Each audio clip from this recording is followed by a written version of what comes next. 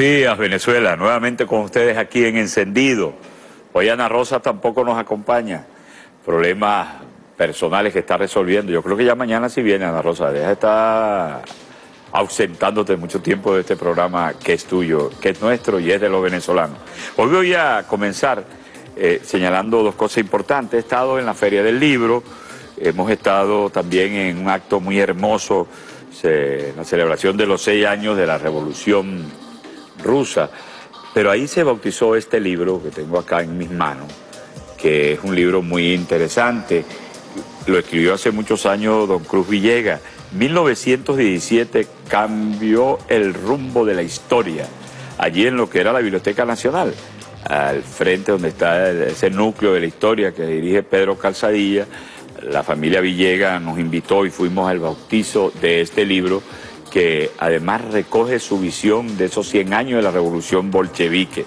También estuvimos ayer en la, en la Feria del Libro bautizando esta experiencia de mi amigo, compadre y hermano de la vida, Ernesto Villegas Porjal.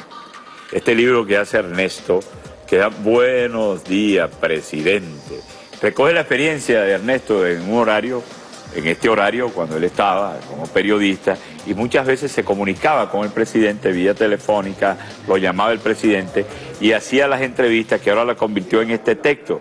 Como decía Ernesto, lo importante de los libros es leerlos, es encontrarse con ellos. Si no es papel y tinta, los invito a que logren ahí en la feria del libro comprar este libro, el libro de Ernesto Villegas.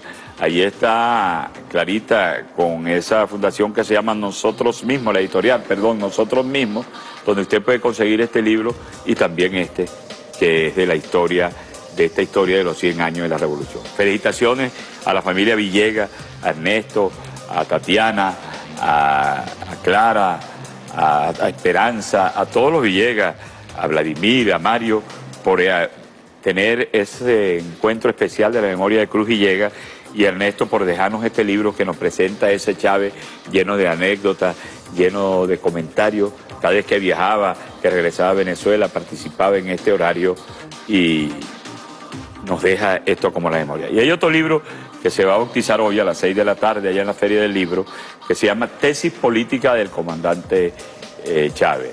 Este libro que lo escribe mi amigo también, el oriental Pedro Sazone, va a ser bautizado hoy. Mañana Pedro nos va a acompañar para hablar de esta tesis, de este trabajo.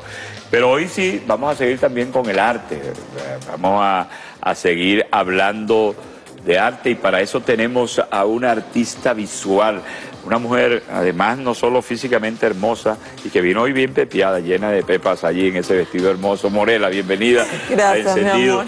Y que este trabajo, mira, ya voy, perdón, no presenté esto a los televidentes. Miren esto. Este libro se lo regaló ayer a Sebastián, a mi hijo, allá en la feria, Ernesto. Este es el libro con el código QR. Allá usted viene, lo toma, baja la aplicación y puede leer el libro en su tablet, en su teléfono.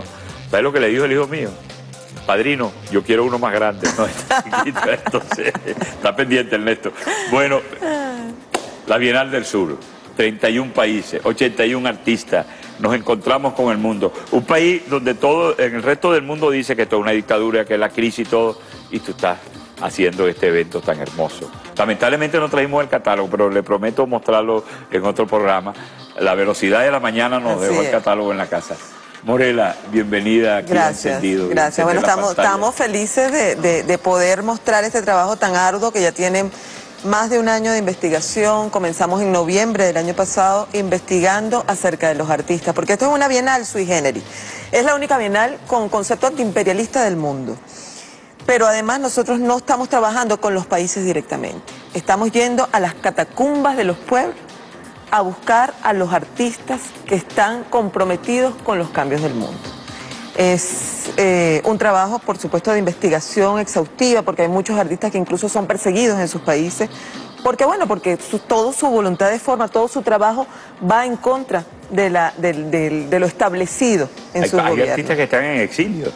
No, hay artistas, hay artistas que están perseguidos pero que siguen en su país. Por ejemplo, el año, el año antepasado en la primera Bienal del Sur trajimos a un artista griego que aún no conocemos su nombre porque tiene un seudónimo, que él trabaja, es un dibujante excelente y él trabaja sobre los euros hace unas, una figura, eh, va en contra del Fondo Monetario Internacional, de, y entonces, por ejemplo, hay una, hay una pieza que es el arco de triunfo y abajo coloca una guadaña. Y eso lo tira, lo, lo echa a andar por toda Europa. Y resulta que intervenir los, los billetes es penado en Europa. Entonces él simplemente no coloca su nombre, no sabemos quién es, pero logramos conseguirlo a través de, de la solidaridad de tantos artistas. Es una red de artistas además que, que está trabajando conjuntamente con nosotros, con Venezuela, para apoyarnos, para poder eh, investigar y traer la obra de esos artistas. Y tuvimos aquí a ese artista con su, con su trabajo hermosísimo. Este año estamos haciendo lo mismo. Es una red es una callapa cultural, pero a nivel mundial. En Venezuela particularmente estamos trabajando con Cancillería de la mano. Eh, ¿Por qué? Porque los artistas traen su obra o llevan su obra a las em, eh, misiones diplomáticas de Venezuela que quedan cerca de sus ciudades y allí eh, amorosamente los embajadores la envían por valija diplomática a Venezuela y entonces la vamos a colocar en el Museo de Arte Contemporáneo. La cosa es a las, el 3 de diciembre a las 11 de la mañana y va a durar hasta el 25 de febrero. Ahora bien, ¿es nada más el sur o el, norte? Es el, sur político, es el sur político y, geopolítico de Chávez.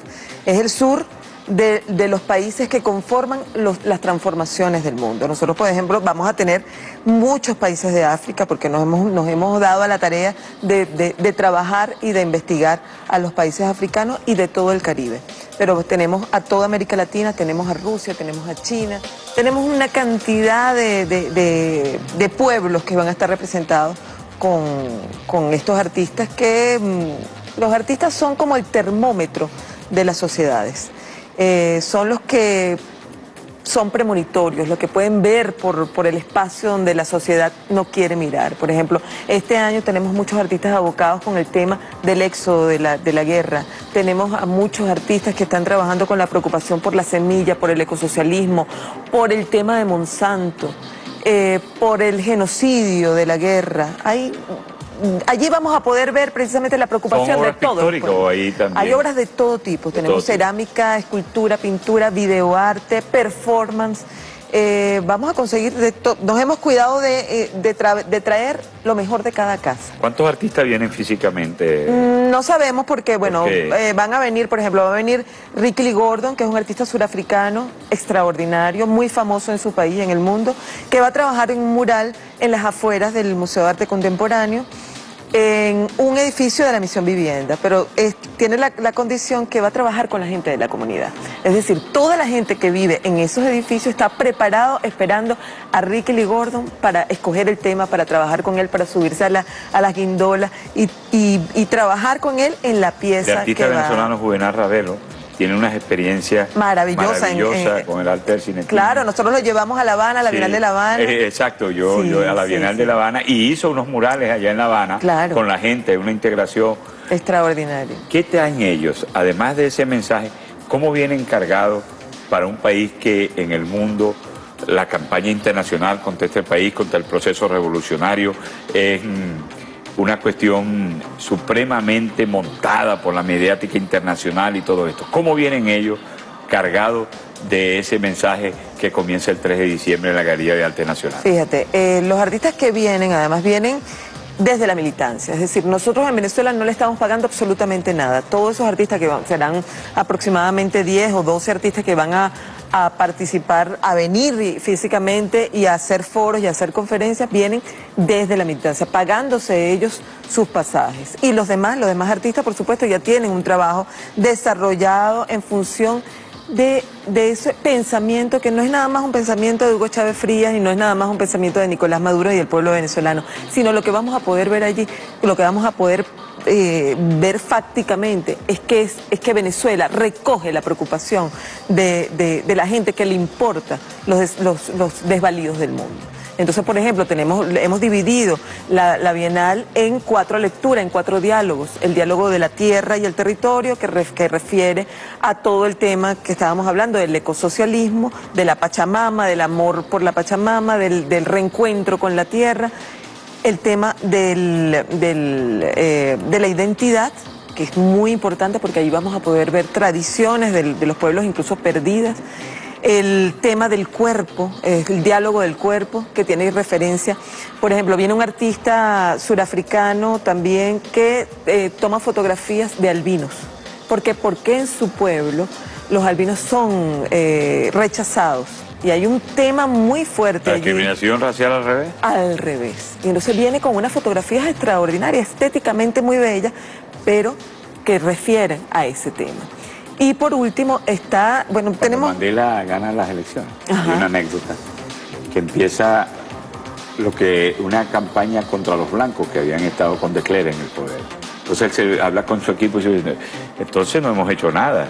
Si salimos luchando contra el apartheid y ahora venimos a perseguir a los blancos, no hacemos nada. Esas imágenes son para luchar contra el apartheid del color que sea. Claro, por supuesto, y eso incluso cuando me dices eso, fíjate, el año antepasado tuvimos un, artista venezolano que desarrolló un cómics, porque tenemos también cómics, que era una, la obra se llama Vea usted las diferencias, y entonces un soldado eh, apuntando a una mujer y un niño. Este soldado tenía la esvástica y la mujer y el niño tenía el, este, la, estrella de, la Estrella de David. La misma imagen, especular, exactamente la misma, pero en ese caso tenía la estrella de David, el, soldado. y la muchacha tenía, eh, la, no, la de Palestina. La de Palestina. Bueno, eso nos, nos eh, ganó el rechazo de la comunidad judía, que además escribieron una carta diciendo que estábamos nosotros, eh, bueno, señalándolos, en fin, se sintieron pero es una realidad. Claro, pero es, una, realidad, y nosotros nos sentimos muy bien. Nosotros hemos visto imágenes de cómo claro. niños jugando pelota en la calle. Claro, claro. y además Palestina fue el país invitado ah, de, la primera Bienal. ¿Cuál es el país invitado? Trinidad y Tobago. Trinidad y Tobago. el presidente Nicolás, vendrá el gobernador de Sucre, porque el pues, presidente... eso esperamos, claro. Esperamos, el presidente Nicolás Maduro lo designó como el enlace para Trinidad y Tobago por la proximidad desde ahí, desde Wiria hacia esa región. Sí, ya estamos conversando con él. Pero quiero que al regreso de este corte hablemos. ¿Dónde más? ¿Solo será en Lagán donde se desarrollará esta bienal o habrán otros espacios en Caracas donde usted pueda ir? ¿Cómo va a ser ese encuentro? ¿Cómo la gente se integra? Porque si algo tú has dicho en los últimos tiempos, y lo leemos en el catálogo, es la integración de la gente desde el punto de vista social en lo que al arte se refiere. Ya regresamos con Molera Jurado aquí en Encendido.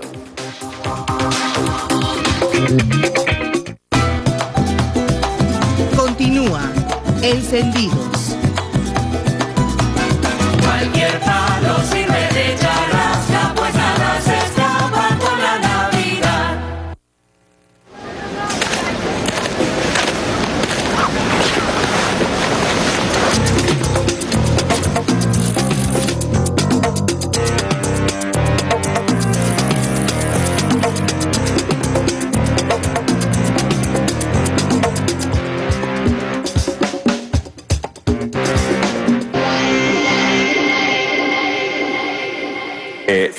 El café. Bueno, estamos en el aire, nos agarró Morela, nos agarró como que estuviéramos en tu casa conversando. Y ya viene el café, Morela. No creas que nos vamos a ir sin el café, porque ayer entrevisté a Jesús Faría y dijo que cuando la cámara se mueve, ve que no hay café. Le digo, no, no es de utilería. Siempre traemos el café. Morela, ¿dónde nos vamos a encontrar, además de la Galería de Arte Nacional, con esta bienal que nos alegra todo?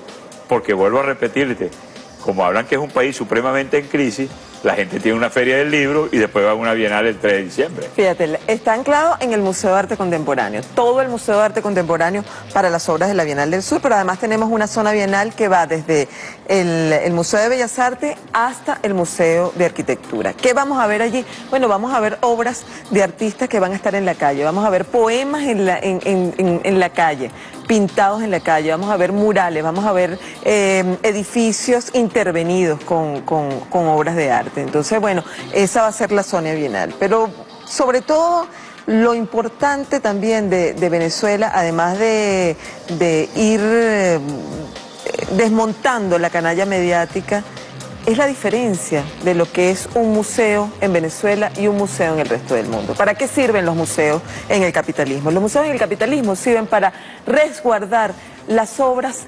expoliadas de los países este, que han sido eh, saqueados. por el imperio. Si no, mira, un, ejemplo es el Smithsonian. El Smithsonian es un, museo que está 85% pagado por el gobierno de Estados Unidos. Hoy por hoy es el, este, museo que más em, demandas por expoliaciones de obras de arte tiene en el mundo. El museo. El museo de Smithsonian. Al contrario del museo, de los museos en Venezuela, en los museos de, los de los países en revolución, que nosotros no solamente no, no eh, cobramos entradas, sino que además lo que hacemos es un trabajo espiritual, lo que hacemos es un trabajo de desarrollo, de mostrar la obra de los artistas comprometidos del No, y hay muchos museos en el mundo que los artistas tienen que pagar para exponer. Por supuesto, por favor, que tienen que dejar el ojo. Y, y aquí hay otra cosa que el otro día lo conversábamos que es que los museos son entrada gratis. Totalmente entrada libre. Pero además tenemos, estamos empeñados en democratizar las oportunidades para los artistas. Es decir, la Bienal del Sur, con los 30 artistas que tenemos eh, de Venezuela, nosotros hicimos un, concurso abierto y participaron 171 artistas de todo el país. Nosotros tenemos artistas de todas las zonas de Venezuela y escogimos de allí a los 30 artistas que van a participar esta vez. Pero además nosotros tenemos entre la Fundación de Museos Nacionales y EIARTE, tenemos un concurso abierto de proyectos expositivos para todos los artistas de Venezuela. Así se, se hizo el año pasado, así se va a hacer también este año. Entonces la diferencia es radical. Nosotros le estamos arrebatando a la infamia las artes visuales con la Bienal del Sur Pueblos en Resistencia. Y, cambiando la opinión en el mundo, pero ¿qué, ¿qué, percibe? ¿Qué sienten estos artistas cuando lleguen y se encuentran de la confluencia del arte contra el imperialismo y lo que se hace en Venezuela? Bueno, lo primero que ven es que se asombran de las, de, las estructuras museográficas que nosotros tenemos en, el, en, Caracas, pero además de la cantidad de obras de arte público que existe en Caracas. Nosotros, sin miedo a equivocarme, somos la ciudad museo de nuestra, de nuestra América. Nada más la Universidad Central de Venezuela, nada más caminar por, por, por la, el Sabana Grande con ese trabajo extraordinario que está haciendo PDVSA. Nada más entrar, eh, caminar por, por, por, el resto de la ciudad, ir en, en, los carros, podemos ver todas las Sotos, Cruz 10, Alejandro Otero, que tenemos aquí en Venezuela. Entonces, bueno, eso hay que sacarle provecho. Venezuela está llamada para ser el destino turístico cultural de América Latina, sin lugar a dudas. No, no, no, no solo porque es la, la cuna de Bolívar, sino porque también eso, tenemos las mejores estatuarias. Y tenemos la Bienal del Sur. La Bienal del Sur, eh, de alguna manera, es una antibienal. ¿Por qué? Porque las bienales de arte en general se han convertido más en una trata de artistas. Eh, una cuestión elitesca. No, y además es una, negociación de los, de los artistas. ¿Por qué? Porque las artes visuales tienen el interés crematístico que hay entre las artes, es muy grande. Yo te puedo vender, Fraso, una pieza que yo digo, mira, esto vale mil dólares, y tú me dices a mí, bueno, véndemela en 500, pero me la facturas por mil. Yo no tengo que ir a ninguna isla a lavar dólares. Ese es el lavado de dólares. Entonces, eso es un espacio que se presta mucho para eso.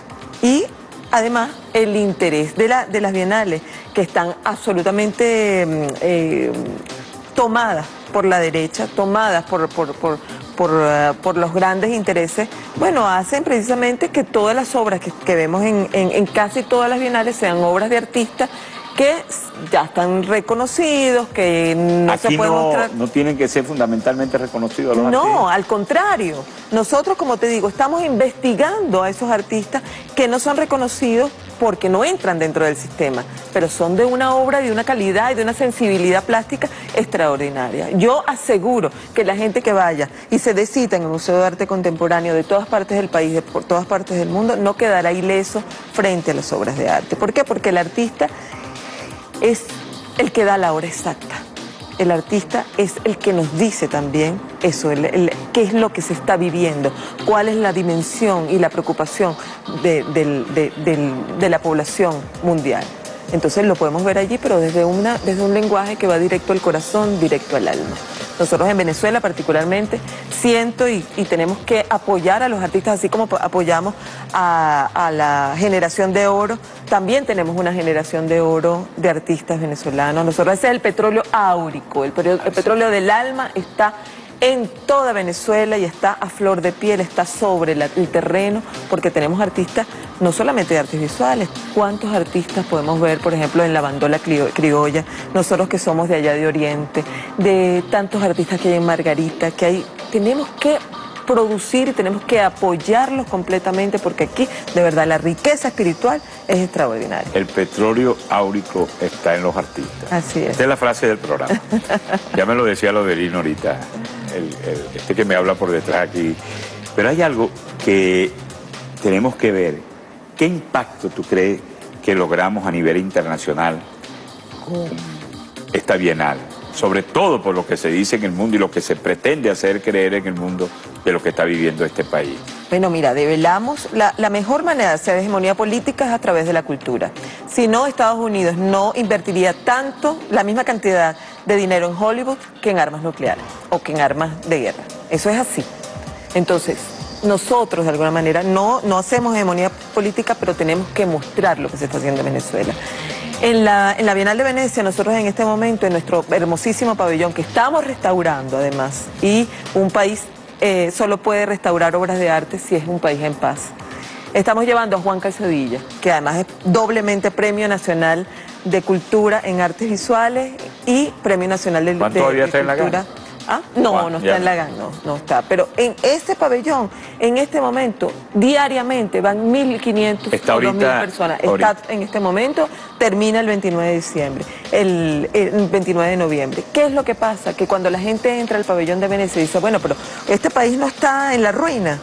¿Cómo va a mostrar este trabajo poético, este trabajo, trabajo extraordinario? Entonces lo primero que hacemos al, al, mostrar la Bienal del Sur es develar precisamente esa, esa mm, eh, cosa terrible que nos está intentando hacer el imperio, pero que no pasará.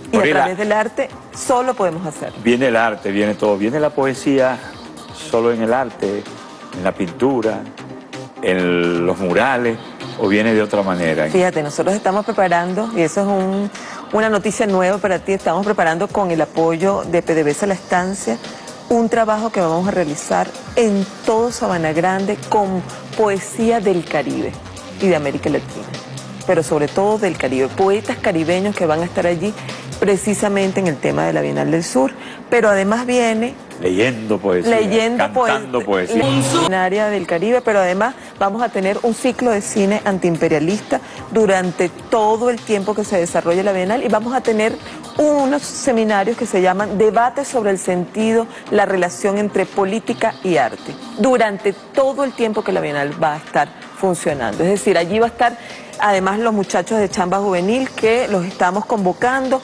para que sean guías de sala durante, durante la Bienal. Es decir, bueno, los, los museos van a ser el ágora, van a ser el nuevo espacio Hay que hablar con Lili para llevar a Lauriano, a su hijo. Ah, maravilloso. Eh, que eh, tiene que ir a, esa Bienal. Mira, Morela, antes de terminar, ¿de qué manera tú calificarías esta lucha importante de, llevar el arte de esa manera enérgica para la lucha contra el imperialismo. ¿Lograremos silenciarle al capitalismo con el arte su acción contra los pueblos? Más temprano que tarde sin reposo. Eso es así. Nosotros somos un pueblo, somos el pueblo de Bolívar, somos los hijos del hombre de las dificultades y sin duda alguna, además, como te decía, la cantera de artistas que tenemos en el país, de artistas comprometidos y de, artistas del mundo que, que, dicen sí a la revolución bolivariana, es lo que nos va a permitir eh, triunfar frente a la infamia.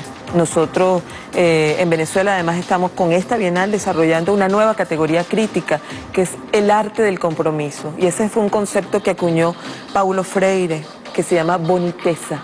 Boniteza es la estética del compromiso. Entonces, a partir de allí, a partir de, ese, de esa inspiración del maestro de maestros, Paulo Freire, es que hemos trabajado y hemos cantado y hemos convocado a estos artistas del mundo, que sin duda alguna esa es la gran batalla, la, batalla de, lo, simbólico, porque la, política es el terreno de lo simbólico. Nada mejor que trabajar desde, desde el arte para desarrollar esa nueva política, esa nueva manera de ver el mundo que estamos construyendo en Venezuela. El 3 de diciembre en la Galería de Arte Nacional. En el MAC, Museo de Arte Contemporáneo. en el MAC el Museo de Arte Contemporáneo. La Galería de Arte no... no Todos nos vamos a sumar, pero de alguna manera el, epicentro de, va, a ser, el Museo de Arte Contemporáneo. El Museo de Arte Contemporáneo estará la Bienal del Sur. Muchas gracias, Morela, por, por haber encendido las pantallas de Venezolana de Televisión en esta mañana. Y aquí estaremos para seguir trabajando por esta Bienal, por la paz y por el amor y el arte en Venezuela. Ya regresamos con otro entrevistado más aquí en Encendidos.